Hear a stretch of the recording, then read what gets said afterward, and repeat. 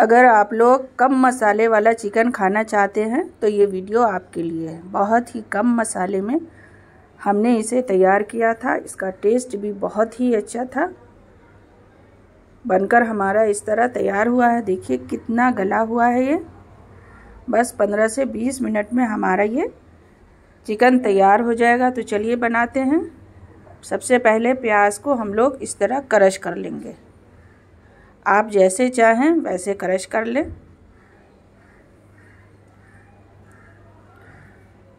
इस तरह का क्रश करने का बाज़ार में मिलता है। आप बहुत आसानी से ला सकते हैं। इसमें हम लोग थोड़ा थोड़ा करके सारे प्याज को क्रश करके रख लेंगे। ये देखिए, इस तरीके का क्रश हो जाता है। तो इस तरीके का हम लोग क्रश कर लेंगे। ये बस हमारे मसाले हैं। ये बिल्कुल तीखा नहीं है, हरी मिर्च है, बड़ी वाली, छोटी वाली तीखी होती है। चार से पाँच पीस हमने इसमें रखा है तोड़कर। ये लहसुन की कलियाँ। ये थोड़ा सा साबुत मिर्च है, लाल मिर्च।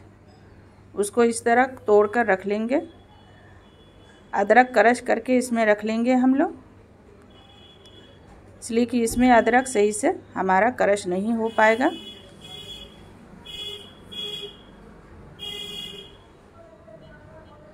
अब इसे हम लोग क्रश कर लेंगे।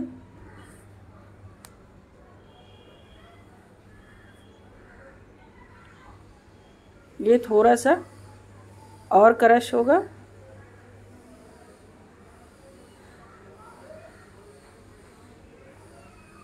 ये क्रश हो चुका हमारा। हमने ये चिकन का लेग पीस लिया था। उसको इस तरीके से कट करके थोड़ा सा तेल डालकर हमने इसको फ्राई कर लिया। बहुत ज़्यादा हमें फ्राई नहीं करना है। बस इतना हमारा फ्राई काफ़ी है। गरम मसाला को हमने रोस्ट करके ये प्याज में क्रश करके डाले हुए हैं। साबुत हमारा गरम मसाला था। ये हम लोग सरसों का तेल डाल रहे हैं। तेल को गरम कर लें, फिर इसमें हम लोग एक चम्मच नमक डाल देंगे। मिक्स करें। अब इसमें ये क्रश किया हुआ प्याज डाल देंगे। इसमें हमने गरम मसाला डाल रखा है। लौंग, इलायची, दालचीनी और ये जायफल जावित्री सब था इसमें। इसकी खुशबू अच्छी आएगी। ये पिसा हुआ मसाला डाल दिया, ये हमारा देगी मिर्च है। हम लोग लाल मिर्च, तीखा वाला बिल्कुल नहीं डालेंगे।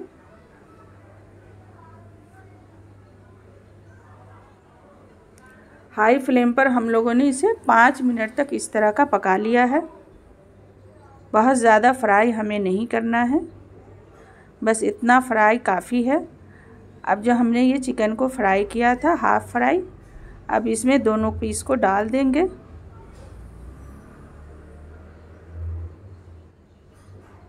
बिल्कुल हल्का मसाला था हमारा।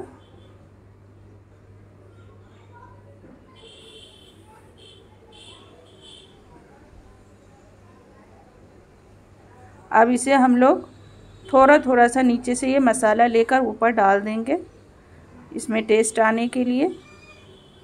अब इसको पहले हम लोग हाई फ्लेम पर पाँच मिनट तक पकाएँगे, फिर दस मिनट के लिए लो फ्लेम पर छोड़ देंगे हम लोग, ढककर इसे।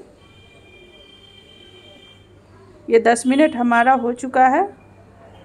अब इसको पलट लेंगे दूसरी तरफ़। फिर दस मिनट और हम बनाएँगे इसको।